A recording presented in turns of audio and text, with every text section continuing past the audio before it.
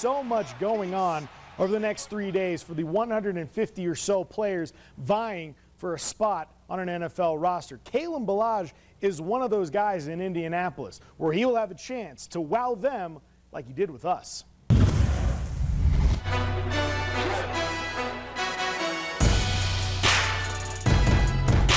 It's been fun watching Kalen Ballage at the next level. He's got a wide open man. It works to perfection.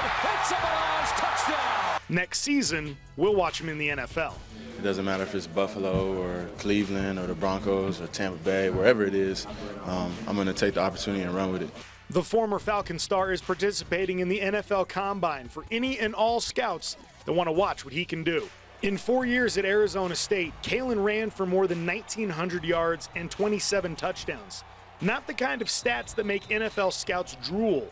I would love to be a thousand yard back every year and 20 touchdowns and you know all those those accolades, but I think that I'll have the opportunity to do that at this next level. But one game against Texas Tech put his talent and his name on the map.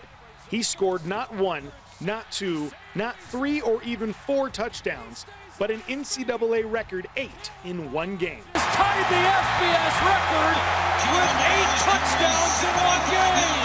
It was clear even at Falcon that Kalen was special. He comes from a family of professional athletes, and the NFL is just another point on the checklist.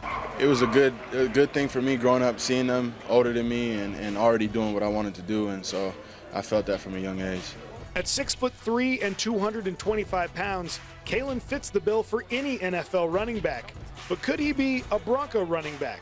I think that was good for me to just play a lot in front of a lot of NFL scouts and really have them visualize what I'm able to do.